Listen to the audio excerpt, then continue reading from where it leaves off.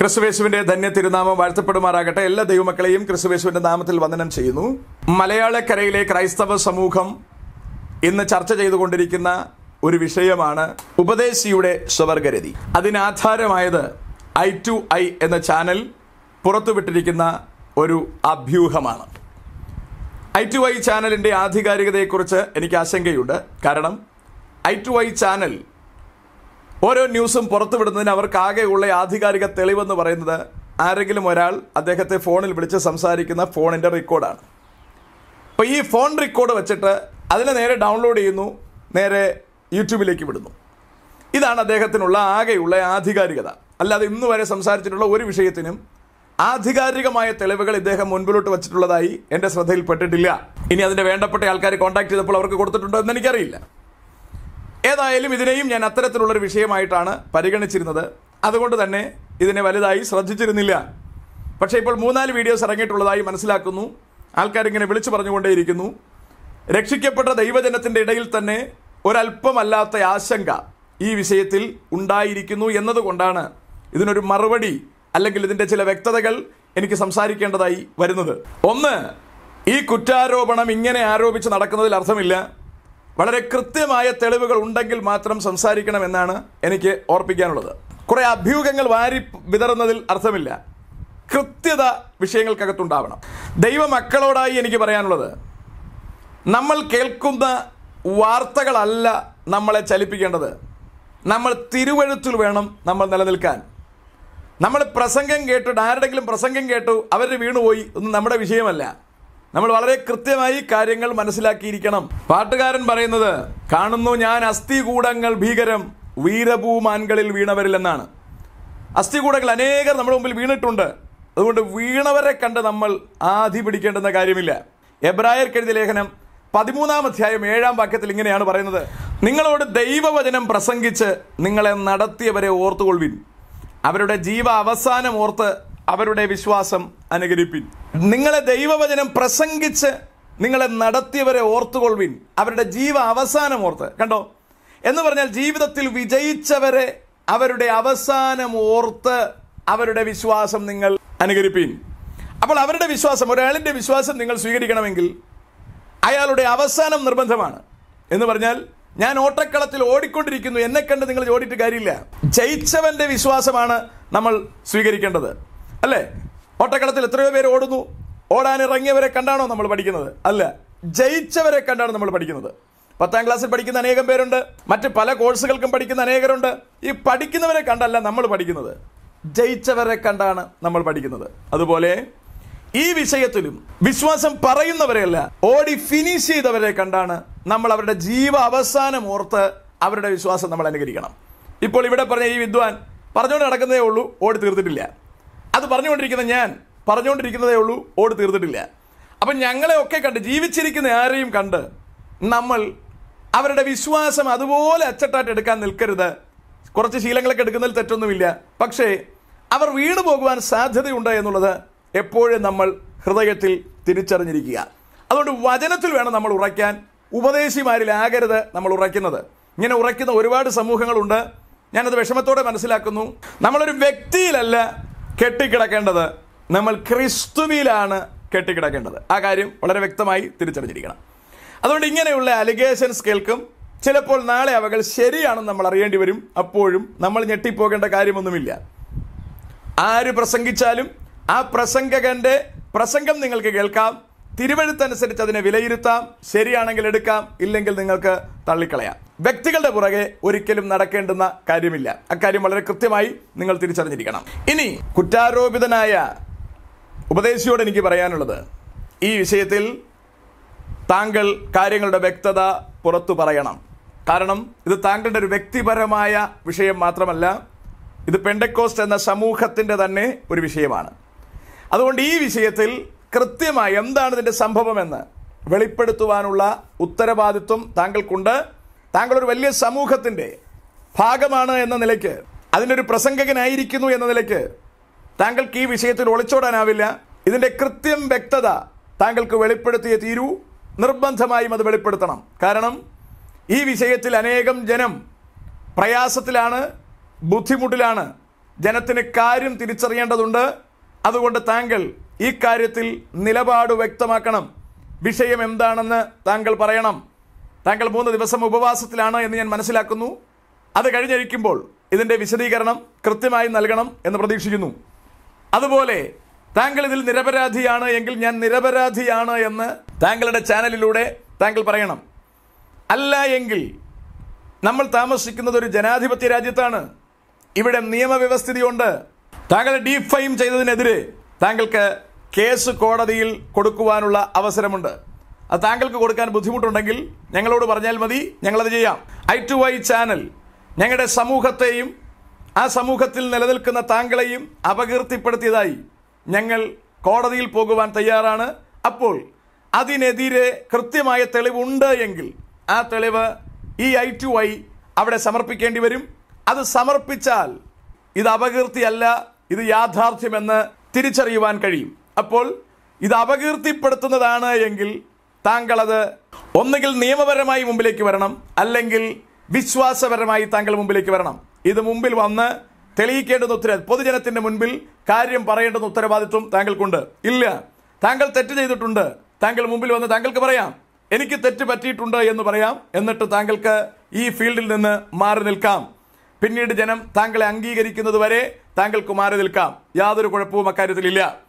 അല്ലാതെ ഒളിച്ചു കളിക്കുവാൻ ഇക്കാര്യത്തിൽ ശ്രമിക്കരുത്.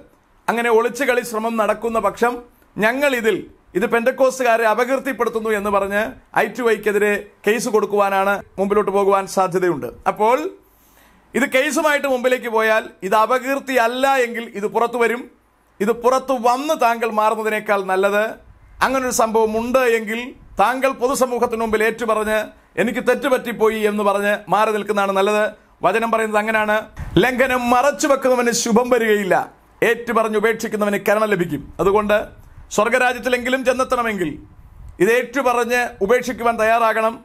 പൊതുസമൂഹത്തിന് വന്നിരിക്കുന്ന ഈ അപകീർത്തിക്ക് താങ്കൾക്ക് കൂടി ഉത്തരവാദിത്വമുണ്ട്. അതുകൊണ്ട് അതിനെ ആ നിലയിൽ കൈകാര്യം ചെയ്യണമെന്ന് വളരെ വിനയത്തോടെ വളരെ ബഹുമാനത്തോടെ സ്നേഹത്തോടെ ഓർപ്പിക്കുകയാണ്. ഇനി ഞാൻ എന്റെ സ്റ്റാൻഡ് പോയിന്റിലേക്ക് വരുവാൻ താല്പര്യപ്പെടുകയാണ് ഏകദേശം ഒന്നര വർഷങ്ങൾക്ക് മുമ്പ് ഞാൻ ഈ വിഷയത്തെക്കുറിച്ച് കേട്ടിരുന്നു. ഇദ്ദേഹത്തിന് ഇങ്ങനെ ഒരു ബലഹീനതയെന്നോ ബലക്കൂടുതലെന്നോ പറയാം. ഇങ്ങനൊരു പരുവക്കേട് ഉള്ളതായി എന്റെ ശ്രദ്ധയിൽപ്പെട്ടു. ചില ദൈവദാസന്മാർ എന്നോട് ഇക്കാര്യം പറഞ്ഞു. ഇങ്ങനൊരു വിഷയമുണ്ട്. ഞാൻ ഇതിനെക്കുറിച്ച് കൂടുതൽ ആരാഞ്ഞു.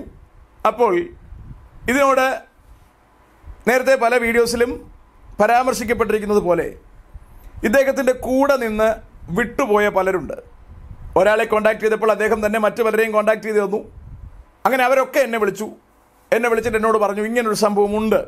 അത് ശരിയാണ്. അങ്ങനെ ഇരിക്കുമ്പോൾ ഞാൻ അദ്ദേഹത്തിന്റെ വീഡിയോസൊക്കെ ഒന്ന് വീക്ഷിച്ചു. എന്താണ് സംഭവം എന്ന് കാണാൻ വേണ്ടി. അങ്ങനെ ഞാൻ വീക്ഷിക്കുമ്പോൾ എന്റെ ശ്രദ്ധയിൽപ്പെട്ടത് എനിക്ക് പരിചയമുള്ള ഒരു ഓതറ അതിനകത്തുണ്ടായിരുന്നു. അങ്ങനെ ഞാൻ ഓതറയെ കോണ്ടാക്ട് ചെയ്തു. ഓതറയോട് ഞാൻ ചോദിച്ചു എന്താണ് സംഭവം? ഞാൻ ഇങ്ങനെ ഒരു കാര്യം കേൾക്കുന്നു. എന്താണ് അതിന്റെ യാഥാർത്ഥ്യം? അപ്പോൾ അദ്ദേഹം അന്നും ഇന്നും ഇദ്ദേഹത്തിന്റെ കൂടെയുണ്ട്. അദ്ദേഹം എന്നോട് പറഞ്ഞു അങ്ങനെ ഒരു സംഭവത്തെക്കുറിച്ച് ഞാനും കേട്ടു. പക്ഷേ അതിനകത്ത് യാതൊരു തെളിവുകളും എന്റെ ശ്രദ്ധയിൽപ്പെട്ടില്ല. ഞാനത് വിട്ടു. അത് കഴിഞ്ഞതിന് ശേഷം എന്നെ വിളിച്ച് അങ്ങനെ തെളിവുണ്ട് എന്ന് ഉറപ്പിച്ച് പറഞ്ഞവരോട് ഞാൻ പറഞ്ഞു അദ്ദേഹം ഇങ്ങനെയാണ് പറയുന്നത്. അപ്പോൾ ഞാൻ ഇവരോട് തെളിവുകൾ ചോദിച്ചു. പിന്നെ ഇങ്ങനെയൊക്കെയുള്ള വിഷയത്തിന് തെളിവുകൾ ലഭ്യമാവുക കുറവാണ്. ഇപ്പോൾ വ്യഭിചാരത്തിനായാലും ഇത്തരത്തിലുള്ള കാര്യങ്ങൾക്കായാലും തെളിവുകൾ ഉണ്ടാവുക എന്ന് പറയുന്നത് ഒരു ദുഷ്കരമായ കാര്യമാണ്. അപ്പോൾ ഇവർ അതിന് സാധുമായ കാര്യങ്ങൾ കുറേ പറഞ്ഞു. ഇദ്ദേഹത്തിന്റെ കുടുംബത്തിലുള്ള വ്യക്തികൾ അടക്കം എന്നോട് സംസാരിച്ചു. ഏതായാലും അതിന് വ്യക്തമായ തെളിവുകൾ എടുത്തു പറയാനില്ല. ഞാൻ കൂടെ നിന്നവരോട് ചോദിച്ചു അങ്ങനെ എന്തെങ്കിലും വിഷയമുണ്ടെങ്കിൽ? കാരണം ഈ വിഷയത്തിന് രണ്ട് മൂന്ന് കാര്യങ്ങളുണ്ട്. ഞാനൊരു കൗൺസിലർ എന്ന നിലയിൽ ഈ പാപത്തിന് ഒന്ന് ഒരു മാനസിക രോഗമാണിത്. മറ്റൊന്ന് ഇത് ശാരീരികമായ ചില വൈകല്യങ്ങളുമാണ്. ഇതെല്ലാം യേശുക്രിസ്തുവിലാകുമ്പോൾ മാറേണ്ടതാണ്. പരിശുദ്ധാത്മാവിനാൽ നിറയുമ്പോൾ ഇവകൾക്ക് വ്യത്യാസം വരേണ്ടതാണ് ഇവകൾ മാറേണ്ടതാണ്. ഇനി മാറാതെ നിലനിൽക്കുന്നുണ്ടെങ്കിൽ ദൈവസന്നിധിയിൽ ഏറ്റുപറഞ്ഞ് ദൈവസന്നിധിയിൽ പാടേ കിടന്ന് കരഞ്ഞ് അവകളിൽ വിടുതൽ പ്രാപിക്കേണ്ടുന്ന ഉത്തരവാദിത്വം ബാധിക്കപ്പെട്ടിരിക്കുന്ന ആൾക്കുണ്ട്. അല്ലെങ്കിൽ മറ്റൊരാളോട് ചോദിക്കാം എന്നെ ഹെൽപ്പ് ചെയ്യണമെന്ന് പറയാം. അപ്പോൾ ഞാൻ ഓദറയെ വിളിക്കുമ്പോൾ ഞാൻ ഇക്കാര്യം സംസാരിച്ചു. ഞങ്ങൾ ദൈവദാസന്മാർ ഒരുമിച്ച് വന്ന് അദ്ദേഹത്തിന് വേണ്ടി ഉപവസിക്കുവാനോ പ്രാർത്ഥിക്കുവാനോ തയ്യാറാണ്. അദ്ദേഹത്തിൽ അങ്ങനെ ഒരു ബാധയുണ്ടെങ്കിൽ അതിനെ പുറത്താക്കാൻ ഞങ്ങൾ തയ്യാറാണ്. ഇനി അല്ലെങ്കിൽ കൗൺസിലിംഗ് ചെയ്യാൻ ഞങ്ങൾ തയ്യാറാണ്. അതുമല്ല ഹോസ്പിറ്റലിൽ കൊണ്ടുപോകണമെങ്കിൽ അതിനും ഞങ്ങൾ തയ്യാറാണ്. കാരണം ഈ ഫീൽഡിൽ നിന്ന് കർത്താവിന് വേണ്ടി ഉപയോഗിക്കപ്പെടുന്ന ഒരാൾ ഒരു ബലഹീനതയിൽ പെട്ടിട്ടുണ്ട് എങ്കിൽ അതിൽ നിന്ന് വിടുവിക്കേണ്ടുന്ന ഉത്തരവാദിത്വം ഞങ്ങൾക്കുണ്ട്. ഒരാളിന് തീപ്പൊള്ളലേറ്റാൽ അയാൾ അതിൽ നിന്ന് വിടുവിക്കുന്നത് പോലെ ഒരാൾക്ക് ഒരു രോഗം ബാധിച്ചാൽ അയാളെ രക്ഷപ്പെടുത്തുന്നത് പോലെ ഇതും അത് തന്നെയാണ്. അപ്പോൾ ഈ രോഗത്തിനൊരു പ്രത്യേകത ജഡത്തിന്റെ പ്രവൃത്തി കൂടി അതിനോടുകൂടി മാനിഫെസ്റ്റ് ആകുന്ന ഒരു സംഭവമാണ്. അപ്പോൾ ഇതിനെ ഈ മൂന്ന് രീതിയിൽ ഇതിനെ ചികിത്സിക്കാം. അപ്പോൾ ഇതിന് ഞങ്ങൾ തയ്യാറാണെന്ന് പറഞ്ഞാണ് ഞാൻ ഓദറയെ കോൺടാക്ട് ചെയ്തത്. അപ്പോൾ ഓദറ ഉറപ്പിച്ച് പറഞ്ഞു അങ്ങനെ സംഭവം ഇല്ല ഉണ്ടെങ്കിൽ അറിയിക്കാം.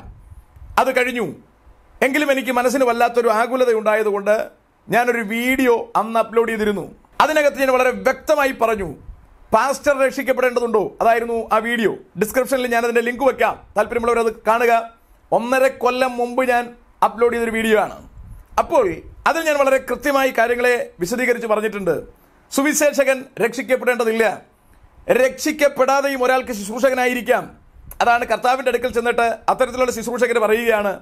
കർത്താവെ നിന്റെ നാമത്തിൽ ഞങ്ങൾ ഭൂതങ്ങളെ പുറത്താക്കി അത്ഭുതങ്ങൾ ചെയ്തു. കർത്താവ് പറഞ്ഞു ഞാൻ നിങ്ങളെ അറിഞ്ഞിട്ടില്ല. അപ്പൊ കർത്താവിന്റെ അറിവില്ലാതെയും ചിലർക്ക് ശുശ്രൂഷയിൽ നിൽക്കുവാൻ കഴിയും എന്നുള്ളതാണ് അതിന്റെ യാഥാർത്ഥ്യം. അതിനകത്ത് ഒൻപത് മുതൽ പന്ത്രണ്ട് വരെയുള്ള മിനിറ്റുകൾ ഞാൻ സംസാരിക്കുന്നത് ഈ ഭാഗമാണ്. ദയവായി ശ്രദ്ധിച്ചാൽ കഴിഞ്ഞ ദിവസം ഒരു സഹോദരൻ വിളിച്ചു പറഞ്ഞത് ഒരു വലിയ പാസ്റ്ററെ കുറിച്ച് വിളിച്ചു പറഞ്ഞത് അയാൾ സ്വതോമ്യ പാപം ചെയ്യുന്ന മനുഷ്യനാണ് ഹോമോസെക്സ്വൽ ആണ്. അപ്പൊ ഞാൻ ഇച്ചിരി ടെൻഷനായി കാരണം അതൊരു വലിയ മനുഷ്യനാണ്. അപ്പോൾ അടുത്ത് ഞാൻ ഞാൻ എനിക്ക് ഞാൻ സൈക്കോളജി കൈകാര്യം ചെയ്യുന്ന ആളാണ്. കൗൺസിലിംഗ് കൈകാര്യം ചെയ്യുന്ന ആളാണ്. അപ്പൊ ഞാൻ എന്നോട് സംസാരിച്ച ആളിനോട് പറഞ്ഞു എടോ അതൊരു രോഗമാണ്.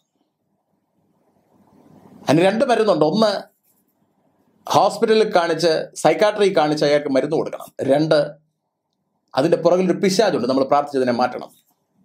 എന്തിനാ അത് രണ്ടും ചെയ്യാൻ ഞാൻ അങ്ങോട്ട് ആവശ്യപ്പെട്ടതെന്ന് പറഞ്ഞാൽ ആ പാപം അയാളുടെ കയ്യിലിരിക്കുന്നത് താമസിയാതെ പുറം ലോകം അറിയും. അതറിയുമ്പോൾ അത് ക്രിസ്തു മാർഗത്തിന് തന്നെ ഒരു കളങ്കമാണ്. കാരണം ക്രിസ്തു മാർഗത്തിൽ ജനം ചിന്തിക്കുന്നത് ശുശ്രൂഷകൻ തെറ്റില്ലാത്തവനായിരിക്കണമെന്നാണ്. ശുശ്രൂഷകൻ തെറ്റില്ലാത്തവനായിരിക്കണമെന്ന് പൗലോസ് നിർബന്ധമായി പറയുന്നു. പക്ഷേ തെറ്റില്ലാത്തവനായേ തീരൂ എന്നില്ല. പൗലോസ് പറയുന്നത് ശ്രദ്ധിക്കണം. തെറ്റില്ലാത്തവനായിരിക്കണം എങ്കിലേ ഉദ്ദേശിക്കുന്ന ബെനഫിറ്റ് അതിലുണ്ടാവും. ഇല്ലെങ്കിൽ ഇന്ന് സഭകൾ തകരുന്നത് പോലെ തകരും. അത് വളരെ ശ്രദ്ധയോടെ മനസ്സിലാക്കണം. ഇന്നിപ്പോ നമ്മൾ ചില പാപങ്ങളെ മോശമായിട്ട് നമ്മൾ പറഞ്ഞാലും ചിലതിനെ പിന്താങ്ങുന്നവരുണ്ട്. ആ ഭാഗം അവിടെ നിൽക്കട്ടെ. അപ്പോൾ ഹോമോസെക്സ്വൽ എന്ന പാപം അയാൾ ചെയ്യുമ്പോൾ തന്നെ അയാൾ വലിയ ശുശ്രൂഷ ചെയ്തുകൊണ്ടിരിക്കുകയാണ്. ഞാനതറിഞ്ഞപ്പോൾ എന്റെ നെഞ്ച് തകർന്നുപോയി. പക്ഷെ അതൊരു രോഗമാണ് മറുഭാഗത്ത് അതൊരു പൈശാചിക ബാധയുമാണ്. അത് മാറിയില്ലെങ്കിൽ ഞാൻ പറഞ്ഞു നമുക്ക് വേണമെങ്കിൽ ഉപസിക്കാം നമുക്ക് വേണമെങ്കിൽ മരുന്ന് കൊടുക്കാം എന്ത് വേണമെങ്കിലും ചെയ്യാം. കാര്യം ക്രൈസ്തവ മേഖലയ്ക്ക് അതൊരു കളങ്കം വരാനുള്ള സാധ്യതയുണ്ട് ഇല്ലെങ്കിൽ. കാരണം ജനത്തിന് ഈ വെളിപ്പാടില്ല ജനത്തിന് ഇത് അറിയില്ല. ഒരു പാപിക്ക് ശുശ്രൂഷകനായിരിക്കാം അത് ദൈവജനം അറിയണം. സ്വർഗരാജ്യത്തിൽ പോകണമെങ്കിൽ മാത്രം അയാൾ രക്ഷിക്കപ്പെട്ടാൽ മതി. വാളുമായി പത്രോസിന് മൂന്നര കൊല്ലം കർത്താവിന്റെ കൂടെ നടക്കാമെങ്കിൽ anybody can walk along with God with different kinds of sports പക്ഷേ ക്രിസ്തുവിനോടുകൂടെ ക്രൂശിക്കപ്പെടണമെങ്കിൽ you must abandon your sword നീ വാളുപേക്ഷിച്ചേ പറ്റൂ. അപ്പോൾ ക്രിസ്തുവിനോടുകൂടെ ക്രൂശിക്കപ്പെടുവാൻ മറ്റൊരു യോഗ്യത ചുമ്മാ ശിഷ്യനായിരിക്കാൻ മറ്റൊരു യോഗ്യത. അപ്പോൾ കള്ളയപ്പോസ്തലന്മാർ ശുശ്രൂഷകരായി നിൽക്കുന്നുണ്ട്. കപട വേലക്കാർ ശുശ്രൂഷകരായി നിൽക്കുന്നുണ്ട്. പൗലോസ് പറയുന്നു അവർ ലജ്ജയായുള്ളതിൽ മാനം കാണുന്നു. അവർ കള്ളയപ്പോസ്തലന്മാർ അവർ ഭൂമിയിലുള്ളത് ചിന്തിക്കുന്നു. അവരുടെ ദൈവം വയറ്. കണ്ടോ? ഇവരെല്ലാവരും ഫീൽഡിൽ നിൽക്കുകയാണ്. പക്ഷെ കണക്ക് തീർക്കുന്ന നാളിൽ ഇവർക്ക് സ്വർഗരാജ്യത്തിൽ പ്രവേശിക്കാൻ പറ്റില്ല. മനസ്സിലാകുന്നുണ്ടോ? അപ്പോൾ യേശുവിന്റെ ശുശ്രൂഷകനായിരിക്കാൻ രക്ഷിക്കപ്പെടണമെന്ന് നിർബന്ധമില്ല. ശുശ്രൂഷകൻ രക്ഷിക്കപ്പെട്ടാൽ അയാൾക്ക് സ്വർഗരാജ്യത്തിലെത്താം. ഇല്ലെങ്കിൽ അയാൾ ഇവിടെ കിട്ടുന്നത് തിന്നുകൊണ്ട് ചാകേണ്ടി വരും. അപ്പോൾ ഇതിനകത്ത് ഞാൻ കൃത്യമായി പറഞ്ഞിരുന്നു ഇങ്ങനൊരു സംഭവത്തെക്കുറിച്ച് കേൾക്കുന്നു. ഈ സംഭവം പിന്നീട് പുറത്തു വരും അന്ന് നിങ്ങൾ ഞെട്ടരുത്. കാരണം ഇത് ശരിയാണ് എന്ന് പറഞ്ഞ് അനേകർ തെളിവുകൾ പറഞ്ഞപ്പോൾ എന്നെ അത് ആശങ്കപ്പെടുത്തി. ഇത് നാളൊരു സമയം പുറത്തു വന്നാൽ ഇത് സമൂഹത്തിന് തന്നെ ഒരു മാനക്കേടുണ്ടാകുമെന്ന് എനിക്ക് ബോധ്യമുണ്ടായിരുന്നു. അതുകൊണ്ടാണ് അത് ശരിയാക്കാൻ ഞാൻ ശ്രമിച്ചത്. അന്ന് ശരിയാക്കാനുള്ള ആൾക്കാർ പിടിതരാത്തത് കൊണ്ടാണ് ഞാൻ ഈ വീഡിയോ ഇട്ട് നിർത്തിയത് ജനം ഞെട്ടാതിരിക്കാൻ. അപ്പോൾ ഇപ്പോൾ അത് പുറത്തു വന്നിരിക്കുന്നു. ഇപ്പോഴും അത് ആരോപണമായി തന്നെ നിലനിൽക്കുകയാണ്. അത് ശരിയാണെന്ന് ഉറപ്പിച്ചു പറയാൻ ആർക്കും കഴിഞ്ഞിട്ടില്ല. ഇതിനോടകം ഒരു പോലീസ് ഓഫീസറുടെ കയ്യിൽ ഈ വീഡിയോ ഉണ്ട് എന്നൊരു കേൾവിയും ഞാൻ കേട്ടു. ഇപ്പോഴും പലരും എന്നെ വിളിച്ച് ചില കാര്യങ്ങൾ പറയുന്നുണ്ട്. ഇതെല്ലാം വാക്കുകൾ മാത്രമാണ് തെളിവുകളില്ല. ഐ ടു ഐ കാരൻ ഇടുന്നത് പോലൊരു ന്യൂസ് എനിക്ക് ഇട്ടാൽ മതിയെങ്കിൽ ഇതെല്ലാം ശരിയാണെന്ന് പറഞ്ഞിടാനുള്ള വാർത്തകൾ എന്റെ കയ്യിലുണ്ട്. അവകൾ ഇട്ടതുകൊണ്ട് കാര്യമില്ല. സോളിഡ് ആയിട്ടുള്ള ഒരു തെളിവ് ജെന്യൂൻ ആയിട്ടുള്ള വ്യക്തമായിട്ടുള്ള കണ്ണുകളെയോ കാതുകളെയോ ഉറപ്പായി വിശ്വസിപ്പിക്കാൻ കഴിയുന്ന ഒരു തെളിവ്. ഞാനിപ്പോൾ സംസാരിക്കുമ്പോൾ കേൾക്കുന്ന ആർക്കെങ്കിലും ഉണ്ടെങ്കിൽ ദയവായി നിങ്ങൾ ഞങ്ങൾക്കതിട്ട് തരിക പലരും പറയുന്നു വീഡിയോസ് കയ്യിലുണ്ട്. ആ വീഡിയോ ഞങ്ങൾക്ക് വേണമെന്ന് ഞാൻ പറയില്ല. ആ വീഡിയോസ് നിങ്ങളുടെ സ്ക്രീനിൽ ഇട്ടിട്ട് അതിന്റെ ഒരു സ്ക്രീൻഷോട്ട് മാത്രം ഒരു മൂന്ന് ഫോട്ടോസ് സ്ക്രീൻഷോട്ട് വ്യത്യസ്ത ഭാഗങ്ങളിലുള്ള സ്ക്രീൻഷോട്ട്സ് ഞങ്ങൾ ഇട്ടു തന്നാൽ മാത്രം മതി. പിന്നീട് ഈ മനുഷ്യൻ ഒരു കാരണവശാലും പെന്തക്കോസ്തിന്റെ സ്റ്റേജുകളിൽ കയറാത്ത വിധം ഇദ്ദേഹത്തെ മാറ്റി നിർത്താൻ ഞങ്ങൾ മുൻപിൽ നിൽക്കും. കാരണം അത് നിന്നേ മതിയാവുകയുള്ളൂ. ഞങ്ങൾക്ക് ഇവകൾ പുറത്തുവിടേണ്ടുന്ന കാര്യമില്ല. ആരുടെയും ബലഹീനതകളും മാലിന്യങ്ങളും പുറത്തുവിടുക എന്നുള്ളത് ഞങ്ങളുടെ ഉത്തരവാദിത്വമല്ല? ഞങ്ങൾക്ക് ഒറ്റ കാര്യമേ ഉള്ളൂ. അങ്ങനൊരു ബലഹീനത ഉണ്ടെങ്കിൽ ദൈവസന്നിധിയിൽ ഇരിക്കുക അത് മാറ്റുക. ക്ലിയർ ആകാതെ ശുശ്രൂഷയ്ക്ക് ഇറങ്ങണ്ട. കാരണം ഇയാളിൽ വ്യാപരിക്കുന്ന പൈശാചിക വ്യാപാരം മറ്റു പലരിലേക്കും വ്യാപരിക്കുവാനും ദൈവസഭയ്ക്കത് കളങ്കമുണ്ടാക്കുവാനും സാധ്യതയുണ്ട്. അതുകൊണ്ട് പാപത്തിലിരിക്കുന്നത് ഒരു വലിയ തെറ്റൊന്നുമല്ല. പാപം തിരിച്ചറിഞ്ഞ് മാനസാന്തരപ്പെട്ടേ തീരൂ. അതിൽ യാതൊരു സംശയവുമില്ല. അത്തരത്തിൽ അതുകൊണ്ട് ഇത്തരത്തിൽ മെയിൻ സ്ട്രീം ശുശ്രൂഷയിൽ നിൽക്കുമ്പോൾ അവകൾ വ്യക്തമാകേണ്ടത് നിർബന്ധമാണ്. അതുകൊണ്ട് ഇദ്ദേഹത്തെക്കുറിച്ചുള്ള ന്യൂസുകൾ ഐ ടി ഐയിൽ ഉണ്ടെങ്കിൽ പുറത്തുവിടുക എന്നുള്ളതല്ല എനിക്ക് പറയാനുള്ളത്. അത് സമൂഹം കാണണമെന്ന് ഞാൻ പറയില്ല. ഒന്നുകിൽ അദ്ദേഹത്തെ ബോധ്യപ്പെടുത്തണം. അല്ലെങ്കിൽ ഞങ്ങൾക്കത് തരണം. വീഡിയോ തരണമെന്ന് ഞാൻ പറയില്ല. അറ്റ്ലീസ്റ്റ് ത്രീ സ്ക്രീൻഷോട്ട്സ് ഞങ്ങൾക്ക് തരണം. ഞങ്ങൾ ആ സ്ക്രീൻഷോട്ട്സ് വെളിയിൽ കാണിക്കില്ല. പക്ഷേ ആ ഉറപ്പ് ഞങ്ങൾക്കുണ്ടെങ്കിൽ ഞങ്ങൾക്ക് ധൈര്യമായി പറയാനൊക്കൂ. താങ്കൾ സ്റ്റേജിൽ നിന്ന് മാറി നിൽക്കണം. അത് ഞങ്ങൾ പറയും. കാരണം ഞങ്ങൾക്കത് പറഞ്ഞേ തീരൂ. ഈ വിഷയങ്ങൾ സംസാരിക്കുമ്പോൾ തന്നെ ഇതിനിടയിൽ മറ്റൊരു പാട്ടെഴുത്തുകാരനെ കുറിച്ചും ഒരു ഇൻഫർമേഷൻ കിട്ടിക്കഴിഞ്ഞിരിക്കുന്നു. അയാളും ഇതുപോലെയുള്ള സ്വവർഗരതിയാണ് എന്ന്. അതും ഇനി പരിശോധനയ്ക്ക് വിധേയമാക്കേണ്ടതായിട്ടുണ്ട്. അദ്ദേഹം എഴുതിയ പാട്ടുകൾ ഇന്ന് ദൈവമക്കൾ പാടി തീയിറക്കുന്നുണ്ട് ദൈവസഭയിൽ. അതുകൊണ്ട് അതും ശരിയാണെന്നുണ്ടെങ്കിൽ അദ്ദേഹവും സഭാ ശുശ്രൂഷ വിടണം. അദ്ദേഹവും മാനസാന്തരത്തിനായി മാറി നിൽക്കണം. ഒരു ആറ് മാസമെങ്കിലും മാറി നിൽക്കണം. മാറി നിന്ന് ദൈവസന്നിധിയിൽ കരഞ്ഞ് ആ വിഷയത്തിൽ വിടുതൽ പ്രാപിക്കാതെ ശുശ്രൂഷകൾക്ക് പോകാൻ പാടില്ല. അയാളുടെ പാട്ടുകൾ ഒരു സഭയിലും പാടേണ്ട കാര്യമില്ല ഒരിടത്തും തീ ഇറക്കേണ്ട കാര്യമില്ല. അതുകൊണ്ട് വളരെ വ്യക്തമായി കാര്യങ്ങൾ മനസ്സിലാക്കണം. ഇത്തരത്തിലുള്ള തെറ്റുകൾ ഉണ്ടെന്ന് ബോധ്യപ്പെട്ടാൽ അവകൾ വേണ്ടപ്പെട്ടവരെ അറിയിച്ച് അവരെ ആ പാപത്തിൽ നിന്ന് രക്ഷപ്പെടുത്തണം. രക്ഷപ്പെടുത്തിയില്ലെങ്കിൽ മറ്റുള്ളവരിലേക്ക് ഈ പാപത്തിന്റെ പ്രവണതകൾ വ്യാപിക്കുവാൻ സാധ്യതയുണ്ട്. നമ്മളെല്ലാവരും മനുഷ്യരാണ്. ശുശ്രൂഷകരായിരിക്കുന്നവരടക്കം എല്ലാവരും മനുഷ്യരാണ്. പാപം ജീവിതത്തിൽ ഉണ്ടാകാനുള്ള നൂറ് ശതമാനം സാധ്യതയുണ്ട്. അതാണ് പൗലോസ് പറയുന്നത് നിൽക്കുന്നു എന്ന് തോന്നുവൻ വീഴാതിരിക്കാൻ സൂക്ഷിക്കുക. മറ്റുള്ളവൻ അപകടം വരുത്തുന്ന തരം പാപം ജീവിതത്തിൽ പെട്ടിട്ടുണ്ടെങ്കിൽ മാറി നിൽക്കുക അതിൽ മോചനം പ്രാപിച്ചിട്ട് തിരിച്ചു വരിക. അല്ലാതെ മൂടിക്കെട്ടി ഇതിനകത്ത് നിൽക്കേണ്ടെന്ന കാര്യമില്ല. ചില വർഷങ്ങൾക്ക് മുമ്പ് എന്റെ അടുക്കൽ ഒരു സഹോദരനെ കൗൺസിലിങ്ങിന് വേണ്ടി കൊണ്ടുവന്നു.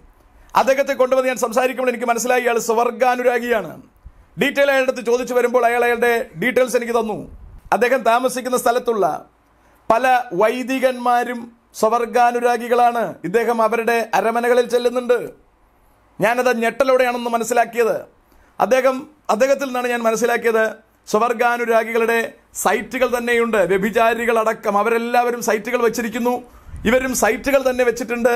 അങ്ങനെ ആൾക്കാരെ കോൺടാക്ട് ചെയ്ത് ഈ പാപം വളരെ പ്രബലമായി ടൗണുകളിൽ കേന്ദ്രീകരിച്ച് നടക്കുന്നുണ്ട് പോലും.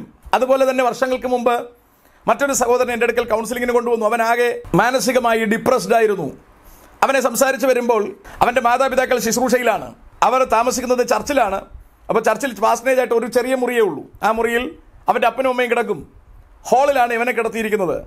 ഒരിക്കലൊരു ഗസ്റ്റ് പാസ്റ്റർ പ്രസംഗിക്കാൻ വന്നു. അയാൾക്ക് രാത്രി പോകാൻ പറ്റത്തില്ല രാത്രി അവിടെ നിൽക്കണം. അപ്പോൾ അയാൾക്കും കിടക്കാൻ സ്ഥലം കൊടുത്തത് ചർച്ചിന്റെ മറ്റൊരു മൂലയിലാണ്. ഏതായാലും രാത്രിയിൽ അയാൾ ഈ കൊച്ചിനെ ഉപദ്രവിച്ചു. അവൻ മാനസികമായി തകർന്നു.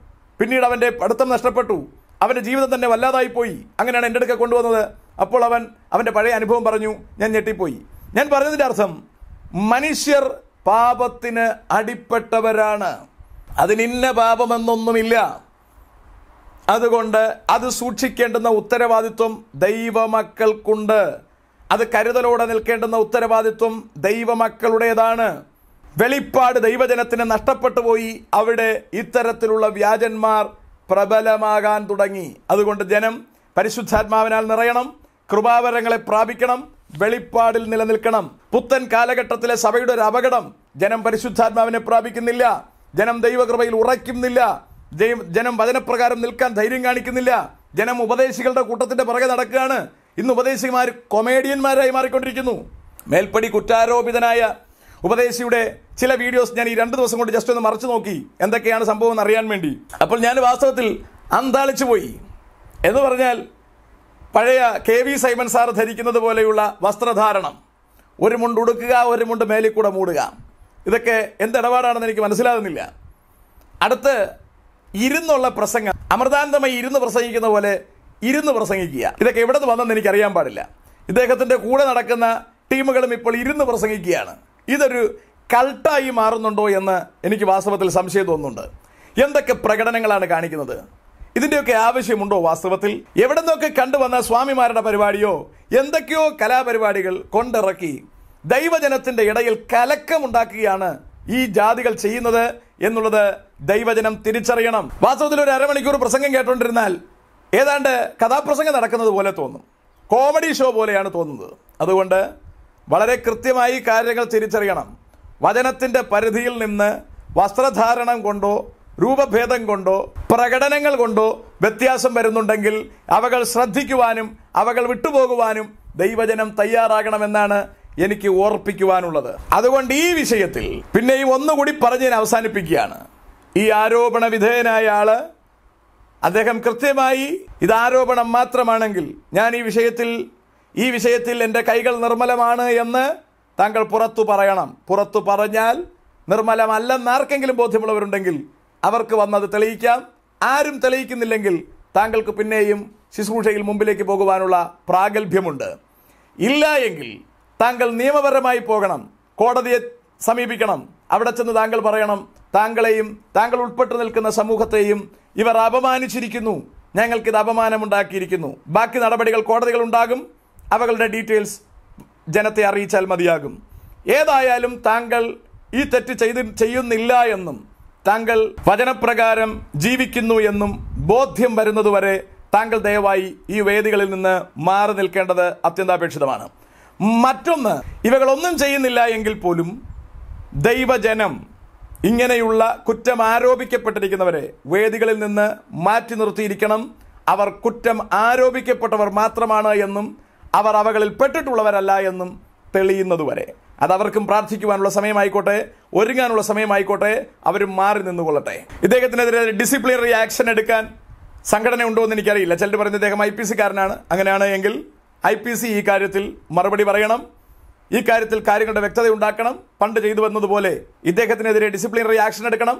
കുറച്ച് ദിവസമെങ്കിലും ഇദ്ദേഹത്തിനെ അച്ചടക്ക നടപടിക്ക് വിധേയനാക്കി മാറി നിൽക്കുവാൻ നിർബന്ധമായും പറയണം. ഇവകൾ അദ്ദേഹത്തിനെതിരെ ഉണ്ടായ ആരോപണങ്ങൾ മാത്രമാണെന്ന് തെളിയിക്കപ്പെടുന്നതുവരെ മാറി നിന്ന് അവകളിലെ കൃത്യത വരുത്തി തിരിച്ച് ശുശ്രൂഷയിലേക്ക് പ്രവേശിക്കുന്നതാണ് ഉചിതം. അല്ലാതെ കുറെ ദിവസം പതുങ്ങി നിന്നിട്ട് പിന്നെയും പഴയതുപോലെ പുറത്തിറങ്ങി നടക്കുന്നത് ഉചിതമായ നടപടി അല്ല എന്ന് ഓർപ്പിക്കുന്നു. അതുപോലെ തന്നെ കേൾവിക്കാരോട് പറയുവാനുള്ളത് നിങ്ങളിൽ ആർക്കെങ്കിലും കൃത്യമായ തെളിവ് ചുമ്മാ വിളിച്ചു പറഞ്ഞ് ഞാൻ അങ്ങനെ കേട്ടിട്ടുണ്ട് ഇങ്ങനെ കേട്ടിട്ടുണ്ട് അതൊന്നും വിളിച്ചു പറഞ്ഞ് ദയവേത് സമയം കളയരുത്. അതിന്റെ ആവശ്യമില്ല. കൃത്യമായ വീഡിയോ ഉണ്ടെങ്കിൽ അതിന്റെ ക്ലിപ്പ് അല്ല എങ്കിൽ അതിന്റെ സ്ക്രീൻഷോട്ട്സ് വാട്സാപ്പിലേക്ക് അയച്ചു തരിക. അങ്ങനെ ഉണ്ടാകുന്നുണ്ട് എങ്കിൽ ഞങ്ങൾ നേരിട്ട് അദ്ദേഹത്തെ പോയി കാണുകയും ശുശ്രൂഷയിൽ നിന്നും മാറി നിൽക്കുവാൻ ആവശ്യപ്പെടുകയും ചെയ്യും. അത് നിങ്ങളെ ഞങ്ങൾ അറിയിക്കുകയും ചെയ്യും. മറ്റൊരിടത്തും അദ്ദേഹം പ്രസംഗിക്കാത്ത വിധം ഞങ്ങൾ നിശ്ചയമായി ബ്ലോക്ക് ചെയ്യും. ഇതിലൊരു വിഷയത്തിൽ പരിഹാരം വരുന്നതുവരെ അതിനുശേഷം അദ്ദേഹത്തിന് ശുശ്രൂഷകളെ തുടരുവാൻ കഴിയും. കാരണം ഏത് പാപത്തിനും ദൈവസന്നിധിയിൽ ഏറ്റുപറഞ്ഞ് നിരപ്പ് പ്രാപിച്ച് ശുശ്രൂഷയിൽ തുടരുവാൻ കർത്താവ് അനുവദിക്കുന്നുവെങ്കിൽ ആർക്കും അതാകാം. പക്ഷേ അങ്ങനെ ഒന്നുണ്ടായിട്ടുണ്ട് എങ്കിൽ മാറിയിരുന്ന് ദൈവസന്നിധിയിൽ പ്രാർത്ഥിച്ച് റെഡിയായി വരേണ്ടുന്ന സമയം എടുക്കേണ്ടതായിട്ടുണ്ടല്ലാതെ അവകൾ മൂടി മുമ്പിലേക്ക് പോകുവാൻ പാടുള്ളതല്ല. കാരണം പൗലോസ് എടുത്തു പറയുന്നു പുരുഷ കാമികൾ സ്വർഗരാജ്യം അവകാശമാക്കുകയില്ല. അതുപോലെ തന്നെ റോമർക്കെഴുതി ലേഖനം ഒന്നാം അധ്യായം ഇരുപത്തി ആറ് മുതലുള്ള വാക്യങ്ങളിൽ പൗലോസ് ഇങ്ങനെ പറയുന്നു അതുകൊണ്ട് ദൈവം അവരെ അവമാന രാഗങ്ങളിൽ ഏൽപ്പിച്ചു. അവരുടെ സ്ത്രീകൾ സ്വാഭാവിക ഭോഗത്തെ സ്വഭാവ വിരുദ്ധമാക്കി കളഞ്ഞു അവണ്ണം പുരുഷന്മാരും സ്വാഭാവിക സ്ത്രീ ഭോഗം വിട്ട് അന്യോന്യം കാമം ജ്വലിച്ച് ആണോടാൺ അവലക്ഷണമായത് പ്രവർത്തിച്ചു. ഇങ്ങനെ അവർ തങ്ങളുടെ വിഭ്രമത്തിന് യോഗ്യമായ പ്രതിഫലം തങ്ങളിൽ തന്നെ പ്രാപിച്ചു. വളരെ വ്യക്തമായിട്ടാണ് പറയുന്നത്. ദൈവം അവരെ അവമാന രാഗങ്ങളിൽ ഏൽപ്പിച്ചു. ഇപ്പൊ ദൈവത്തെ ദൈവമെന്നോർത്ത് മഹത്വീകരിക്കാത്തത് കൊണ്ട് ദൈവത്തിന് സ്തോത്രം കരയറ്റാത്തത് കൊണ്ട് ദൈവത്തെ മഹത്വപ്പെടുത്തി ശരീരം കൊണ്ടും ജീവിതം കൊണ്ടും ദൈവത്തെ മഹത്വപ്പെടുത്തി ജീവിക്കാത്തത് കൊണ്ട് ദൈവം അവരെ അവമാനത്തിന് വിട്ടുകളഞ്ഞു. അങ്ങനെ അവമാനത്തിന് വിട്ടവർ ചെയ്യുന്ന പാപമാണ് ആണോടാണ് അവലക്ഷണമായത് പ്രവർത്തിക്കുന്നത്. അതുകൊണ്ട് അത്തരത്തിലൊരു പാപം ഇവിടെ ഇദ്ദേഹത്തിലോ പാട്ടെഴുത്തുകാരനിലോ മറ്റാരിലെങ്കിലും ഉള്ളതായി ശ്രദ്ധയിൽപ്പെട്ടാൽ മാറ്റി നിർത്തേണ്ടതായിട്ടുണ്ട്. ദൈവം മാറ്റി നിർത്തിയവരെ നമ്മൾ മാറ്റി നിർത്തിയേ തീരൂ. ഇല്ലെങ്കിൽ അത് ദൈവസഭയ്ക്ക് അപകടമുണ്ടാക്കും. അതിന് യാതൊരു സംശയവുമില്ല. നമ്മൾ ദൈവഭക്തന്മാരെ ശ്രേഷ്ഠന്മാരെന്നെണ്ണണം അതേസമയം വഷളന്മാരെ നിന്ദ്യനെന്നെണ്ണണം. അത് വളരെ ഗൗരവമായിട്ടുള്ള കാര്യമാണ്. അതുകൊണ്ട് ഇക്കാര്യത്തിൽ വ്യക്തതയ്ക്കായി ദൈവമക്കൾക്ക് പ്രാർത്ഥനയോടിരിക്കാം. ആരുടെയും വീഴ്ച ദൈവസഭയ്ക്ക് ഒരു അപമാനവും വരുത്തുവാൻ പോകുന്നില്ല. ആരും വീണെന്നു പറഞ്ഞ് ദൈവസഭ നശിക്കുവാൻ പോകുന്നില്ല. കർത്താവ് വീണവനല്ല കർത്താവ് ഉയർത്തെഴുന്നേറ്റവനാണ്. പൗലോസ് എബ്രായർക്ക് ലേഖനം എഴുതുമ്പോൾ ഇങ്ങനെ പറയുന്നു വിശ്വാസത്തിന്റെ നായകനും പൂർത്തി വരുത്തുന്നവനുമായ യേശുവിനെ നോക്കുവിൻ. He's the author and he's the finisher of faith ക്രിസ്തുവാണ് വിശ്വാസത്തിന്റെ തുടക്കക്കാരനും അതിനെ ഫിനിഷ് ചെയ്തവനും. അതുകൊണ്ട് ക്രിസ്തുവിനെ നമുക്ക് ഗമിക്കാം. സാക്ഷികളുടെ ജയിച്ച സാക്ഷികളുടെ ഒരു വലിയ സമൂഹം നമുക്ക് ചുറ്റുമുണ്ട്. അവരെ കണ്ട് നമുക്ക് ലാക്കിലേക്ക് ഓടുവാൻ ശ്രമിക്കാം. നമ്മുടെ കർത്താവ് വരുവാൻ സമയം ഏറ്റവും അടുത്തിരിക്കുന്നു. അതുകൊണ്ട് ക്രൂശിനെ ചുമന്ന് അവമാനം അലക്ഷ്യമാക്കി നമുക്ക് മുമ്പിലേക്ക് പോകാം. നമ്മുടെ കർത്താവ് വരുവാൻ സമയം അടുത്തിരിക്കുന്നു. May God bless everybody